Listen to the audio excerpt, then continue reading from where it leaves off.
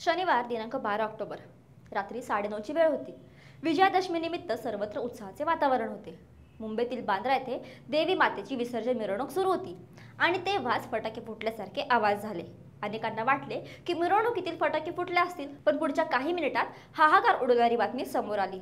राष्ट्रवादीचे नेते तथा राज्याचे माजी मंत्री बाबा सिद्दीकी यांच्यावर गोळीबार करून त्यांची हत्या करण्यात आली होती.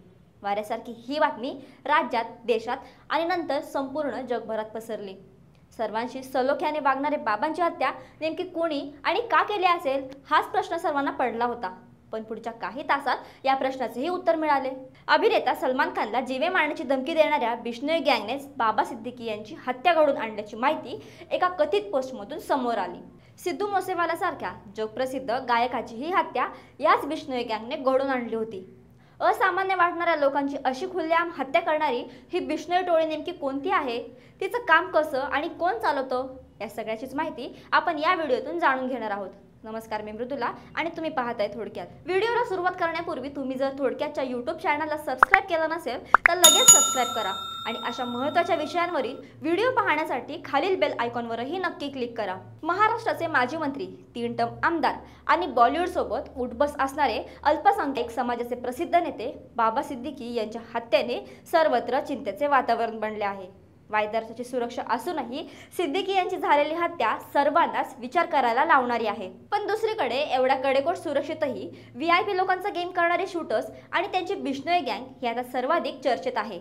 ज्या लोरेन्स बिष्णोईच्या नावाने ही बिष्णोई गँग सुरू आहे तो लोरेन्स मागील दहा वर्षांपासून जेलमध्ये कैद आहे. लोरेन्स बिश्नोईवर खून आणि खंडणीचे दोन डझन गुन्हे दाखल आहेत.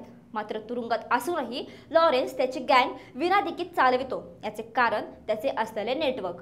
स्वतः लॉरेन्स आणि त्याच्या संपूर्ण गँगचे नेटवर्क जगभर पसरले आहे. नुकतेच राष्ट्रीय तपास संस्था अर्थात एन आयने बिष्णोई गँग विरोधात आरोपपत्र दाखल केले.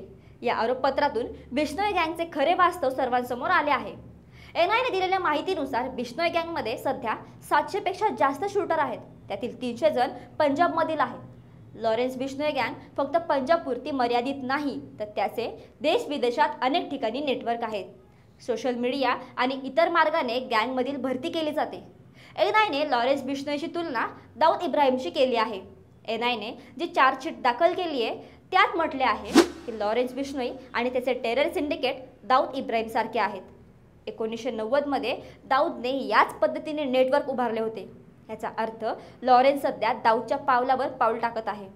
पंजाबचा प्रसिद्ध गायक सिद्धू मोसेवाला याची हत्या करणारी ही बिष्णोई गँग आता महाराष्ट्रात देखील सक्रिय झाली आहे. त्याच्या गँगनेच राष्ट्रवादीचे नेते बाबा सिद्दीकी यांची शनिवारी हत्या घडून आणल्याचे तपासात समोर आले.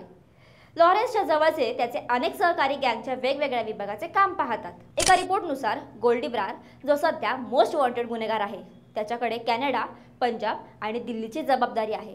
तर रोहित गोदारा याच्याकडे राजस्थान मध्य प्रदेश आणि अमेरिकेची जबाबदारी आहे.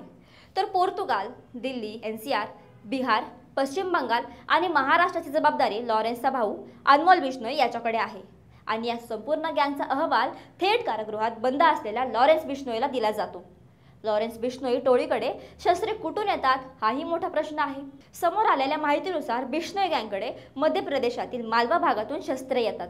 तसेच उत्तर प्रदेशातील मेरठ मुझफ्फरनगर आणि अलीगड येथूनही त्यांना शस्त्रे मिळतात. बिहारमधील मुंगेर आणि खागरी या भागातून देखील शस्त्र ही गँग मागवत असते.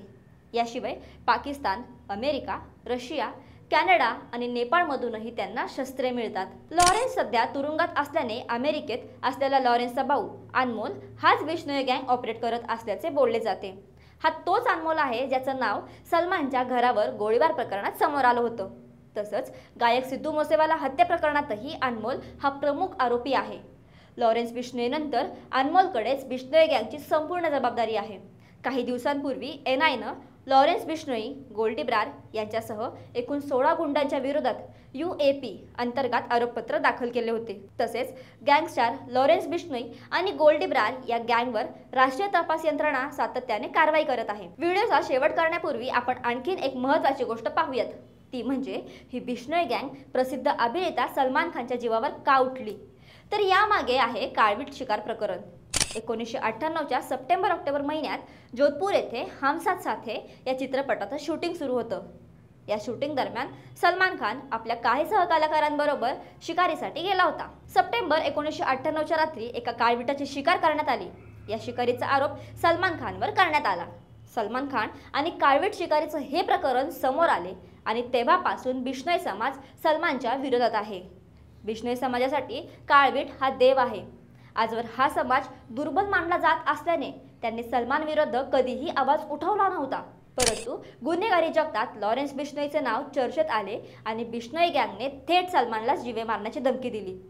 तुम्हाला हा व्हिडिओ कसा वाटला हे आम्हाला कमेंटमध्ये नक्की सांगा. तसेच तुम्ही अजूनही थोडक्यातला सबस्क्राईब केला नसेल तर लगेच सबस्क्राईब करा.